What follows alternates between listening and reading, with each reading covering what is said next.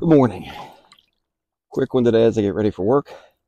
And I am reminded from listening to Milton's Paradise Lost. There's a quote The mind, in and of itself, can make a heaven of hell or a hell of heaven. And that one really struck me because it reminded me of a Stoic quote that we don't control what happens around us, we only control how our mind reacts to those things that happen around us. And I think about how often we allow outside influences to impact us, whether it's people who doubt us, whether it's people telling us our dreams can't come true, whether it's the hardships that happen in our life and we think they define us. We have to realize the power of the mind can take the worst situation and make it an inspiration for success.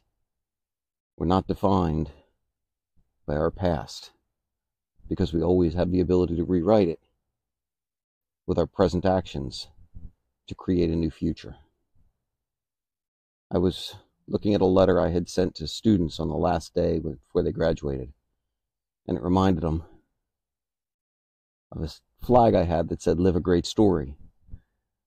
And I told them that as they move forward, they're now writing their own story as we all are.